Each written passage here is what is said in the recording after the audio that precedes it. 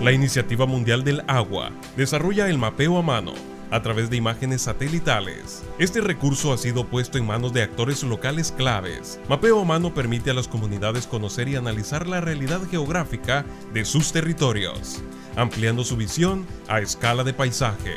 La gente que está trabajando directamente en las parcelas logran emocionarse y logran identificar dónde viven, cuál es su pueblo. El mapeo a mano permite a los actores locales analizar su comunidad para identificar problemas u oportunidades. Las personas inician reconociendo el lugar mostrado en la imagen satelital, a partir de lo cual van creando el mapa de su comunidad, identificando sitios de interés. Primero me ubiqué por la carretera longitudinal del norte, ¿verdad? De allá a San Simón, de allí a la calle que va para la Villa Rosario. Se realizó un ejercicio de mapeo a mano en el municipio de San Simón. Uno de los puntos clave del ejercicio desarrollado fue que los productores identificaran sus parcelas de trabajo y las fuentes de agua de las cuales abastecen sus sistemas agrícolas.